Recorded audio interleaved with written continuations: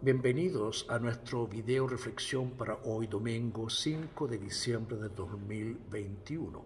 Estamos en la segunda doménica de Adviento y también, como siempre, seguimos junto a ustedes en nuestras oraciones, ya sea que esté enfermo, en necesidad o en duelo o bien celebrando un cumpleaños o aniversario.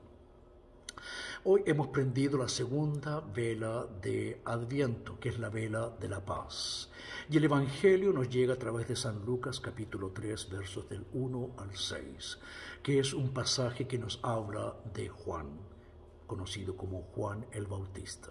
Y es aquí donde trabajaremos en tres aspectos sobre esta narrativa, que son tres niveles de introducción. La primera es una introducción histórica y a la ubicación. El segundo es una introducción a la genealogía y al estilo de vida de Juan Bautista. Y el tercero es una introducción al mensaje que tiene su proclamación y el rol que él cumple. Hablemos de la primera introducción. Es una información que tiene que ver con una data histórica, del trasfondo y de la ubicación. ¿Pero por qué? Muy sencillo, porque Lucas era un evangelista muy quisquilloso, con mucho detalle.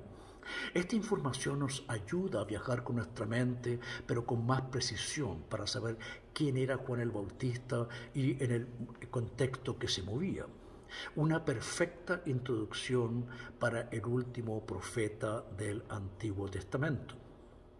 Pues bien, aquí en esta parte encontramos muchos nombres del nivel político. Por ejemplo, Tiberius era el emperador, Poncio Pilato era el gobernador y el que gobernaba en esta pequeña zona donde estaba Jesucristo, el ingrato o impopular Herodes. Y por el otro lado también tenemos nombres de líderes religiosos como Anás y Caifás. Pasemos a la introducción número dos, que tiene que ver con el trasfondo familiar de Juan. Curiosamente menciona solo al padre Zacarías y no a la madre Isabel, quien era muy importante y muy cercana a la Virgen María.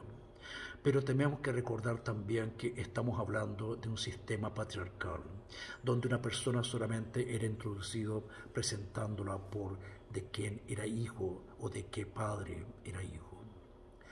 Pero bien, aquí tenemos información clave que nos permite también dar con la ubicación de Juan el Bautista, todo alrededor de la, del área del Jordán, donde estaba también el río Jordán, pero principalmente porque estaba en un desierto.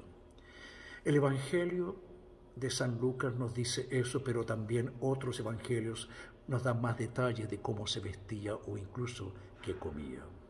En conclusión, esta introducción nos permite tener un mejor entendimiento de Jesucristo y su eh, eh, primo, Juan el Bautista. Y Juan el Bautista en su rol de eh, una persona que prepara el camino y también como un profeta. Y la tercera y última introducción, que tiene que ver con el contenido del mensaje.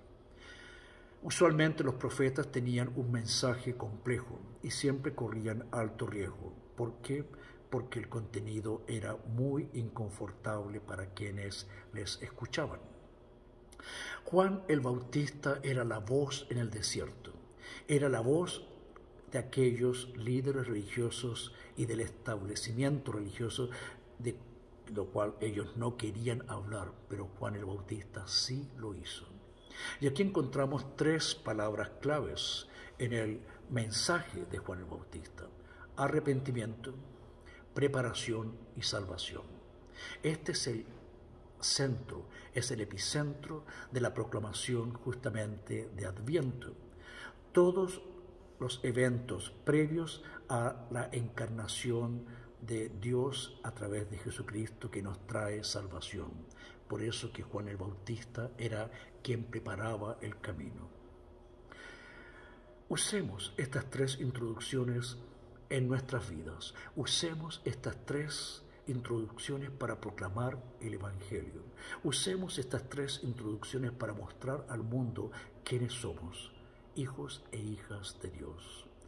Que el rol de este preparador del camino, que el rol del profeta Juan sea también una guía para nosotros en tiempo de adviento. Amén. Por favor, comparta este video con quienes estime conveniente. Le deseamos una bendecida semana y nos vemos el próximo domingo. Adiós.